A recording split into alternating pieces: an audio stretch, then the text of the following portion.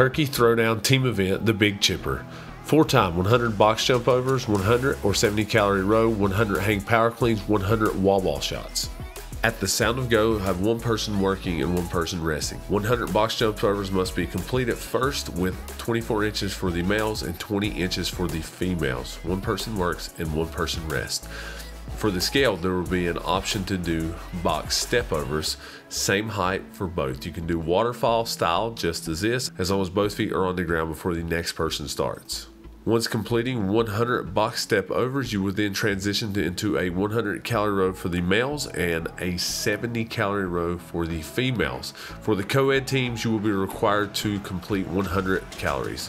Once completing that, you'll move on to 100 hang power cleans. 115 for the males, 75 for the females, and there will be a strict no dropping policy. Then you will move lastly on to 100 wall ball shots. 20 pounds for the males, 14 pounds for the females, and for the scale, it'll be 14 pounds and 10 pounds.